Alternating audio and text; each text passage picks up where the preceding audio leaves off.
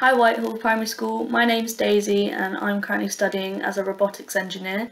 I'm a robotics student so that involves a lot of maths and electronics but we also learn about different behaviours and the needs of different types of people and how we can help solve their problems.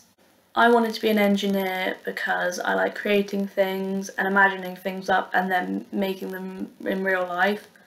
When we're doing some work, we use lots of computers and also normal tools like screwdrivers and soldering irons and anything you can think of really, it really depends on the problem.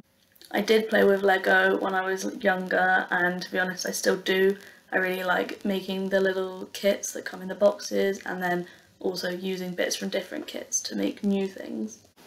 I got lots of help on my first projects because that's the best way to learn. You can ask loads of questions to anyone that you know that has any idea about any kind of engineering.